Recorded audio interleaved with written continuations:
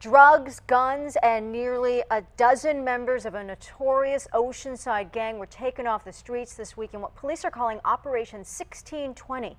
10 News reporter Allison Ash with the frightening details of how three children got caught up in it. Oceanside police say their four-month investigation centered around this park. It's called Balderrama Park. And among the 11 people arrested, three mothers who brought their children along to do drug deals. These are the faces of the 11 men and women arrested in Operation 1620. Among them, people with street names like Villain, Prime Time, Woody, and D-Boy. The key target in Operation 1620, Georgia Orozco, who goes by the names Stretch and Armstrong.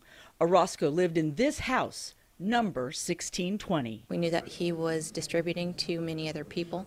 Uh, we knew that he was getting his uh, his product from some other folks in, uh, that are up on the chart and uh, it was going throughout Oceanside, Escondido, Vista, and uh, the Pauline Indian Reservation. Early Wednesday morning, 120 officers fanned out across those areas, hauling in documented members and associates of the Posole gang.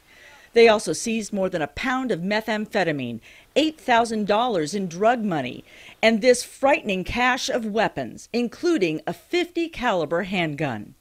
The guns belong to this man, Wayne Swanson, who managed to escape to Canada. Police say their base of operations was San Diego Street near this park where children play. Sadly, tonight, three children are in protective custody their parents in jail. We heard that there were children involved. We needed to take uh, immediate steps to go ahead and intervene with that. Police say they believe Operation 1620 made a major dent in the drug trade in this area.